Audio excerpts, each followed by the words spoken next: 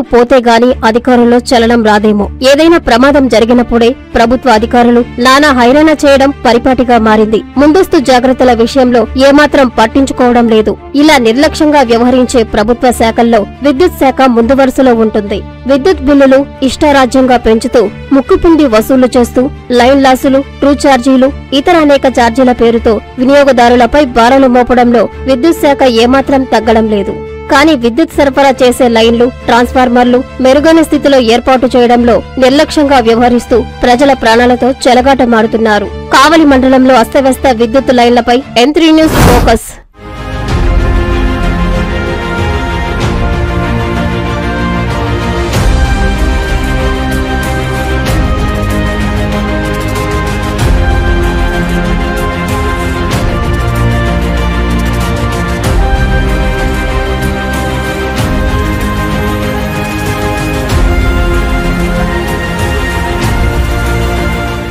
కావలి మండలంలోని సర్వాయిపాలెం అనమడుగు చెన్నయ్యపాలెం కొత్తపల్లి పంచాయతీ ప్రాంతాల వైపు విద్యుత్ లైన్లు అస్తవ్యస్తంగా ఉన్నాయి. ఎక్కడికక్కడ విద్యుత్ స్తంభాలు ఒరిగిపోయి విద్యుత్ లైన్లు ఊగిసలాడుతున్నాయి. ప్రస్తుతం వీస్తున్న ఈదురుగాలులకు ఎక్కడ కూలి కింద పడతాయోనన్న భయాందోళన నెలకొంది. తాగేటివారి పాలెం వద్ద జరిగిన విద్యుత్ స్తంభం పక్కనే నూతన విద్యుత్ స్తంభం ఏర్పాటు చేసినా అలాగే వదిలేశారు. విద్యుత్ తీగలు వదులుగా ఊగుతూ కాలం చెల్లిన స్తంభాలతో ఉన్నాయి. దీంతో లో వోల్టేజ్ విద్యుత్ వస్తూ పోతూ ఉండడంతో గృహోపకరణాలు పొలాల్లో రైతుల వ్యవసాయ మోటార్లు కాలిపోతూ నష్టపోతున్నారు. ఎక్కడ విద్యుత్ లైన్ మీద పడిపోతుందోనని నిత్యం పొలాల్లో పనిచేసే రైతులు తిరిగే పశుపోషకులు హడలిపోతున్నారు. ఇప్పటికైనా విద్యుత్ శాఖ ఉన్నతాధికారులు దృష్టి సారించాలని ఆ ప్రాంత ప్రజలు విజ్ఞప్తి చేస్తున్నారు.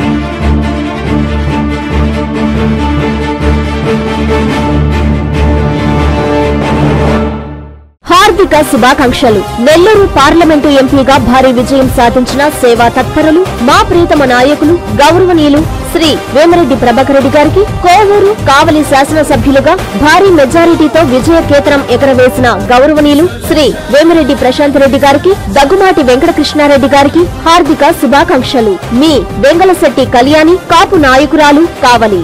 హార్దిక శుభాకాంక్షలు. కావలి శాసనసభ్యులుగా భారీ మెజారిటీతో విజయం సాధించిన సేవా తత్పరులు మా ప్రీతమ నాయకులు గౌరవనీయులు దగ్గుమాటి వెంకటకృష్ణారెడ్డి గారికి హార్దిక శుభాకాంక్షలు. మీ శానం హరి పద్దెనిమిదవ వార్డు టీడీపీ ఇన్ఛార్జ్ కావలి.